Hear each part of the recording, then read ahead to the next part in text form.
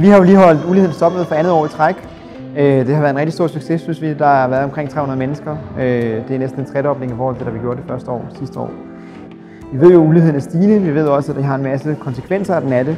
Øh, og det helt grundlæggende gør, at vi kommer til at få et dårligere samfund at leve i. My main point about inequality being a social evil is that when you have higher inequality in a society, so many other things tend to go wrong.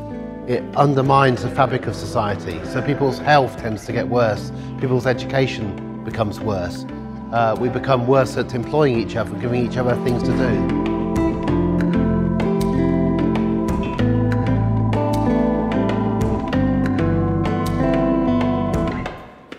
Ja, altså man kan for det første konstatere, at det her med at skabe et nogenlunde let tilgængeligt, veludbygget sundhedsvæsen af god kvalitet, det har ikke løst problemet. Det er bare blevet større, siden vi fik det. Ikke? Vi har stadigvæk en meget stor ulighed.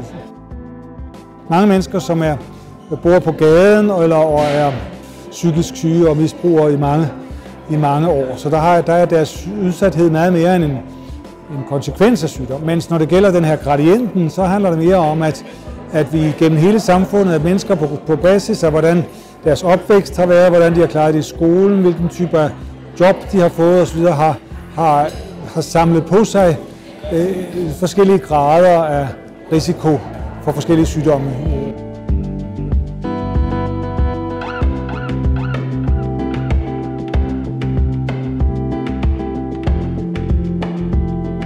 The widening gap is the space that's opening up between people's lives and experiences.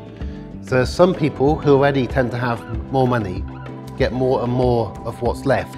Other people are left behind. Their incomes tend to be lower, tend to hardly rise at all. They have no wealth because they can't save any.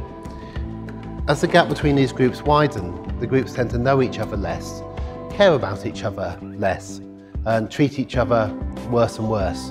Uh, ultimately you end up with a very dangerous society when you have a widening gap.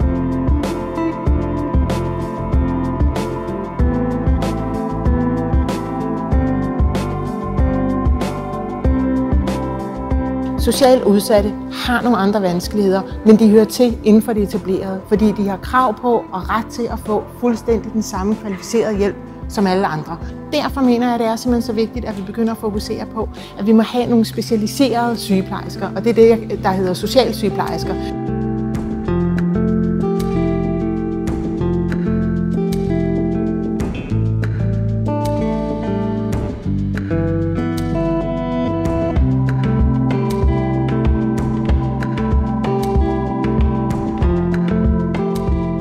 Styrken ved at gøre det i, øh, i arbejdslivet, det er, at hvis man tænker det, og man skal ikke tænke det som et projekt, det må man ikke. Man skal tænke det som en måde for ens kultur til at leve. Og der er sundhed rigtig, rigtig godt til at få en kultur til at leve. Øhm, og hvis man tænker det sådan, så får man helt nye perspektiver på det. Fordi så taler man ikke sygefravær mere. Og man taler ikke, hvor tykke og tynde man er. Men så taler man om, om vi trives, og om vi har det godt.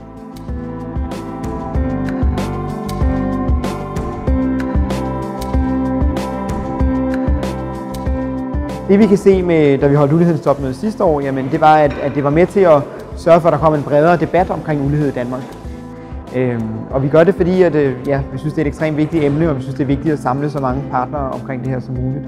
Øhm, så forsøger vi også altid at gøre det på en måde, hvor at, at det er meget løsningsorienteret. Det vil sige, hvor man ikke bare får ane lange forklaringer omkring, hvad problemerne er, og statistikker mig her og der osv. Men at vi rent faktisk sætter dem sammen, som kan finde løsningerne, og så skal ud og implementere dem til at diskutere, hvad for nogle